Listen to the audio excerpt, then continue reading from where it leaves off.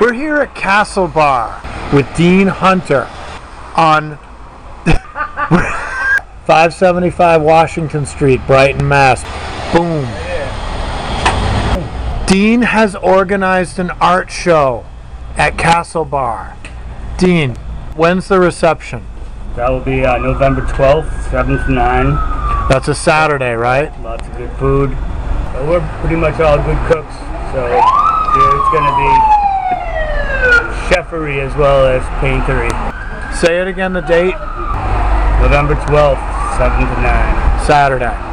And Saturday, yeah. so it's you, Sean Boyce, and Mike Fitzgerald paint live in the bar, right? That's true. That's what we're doing all October.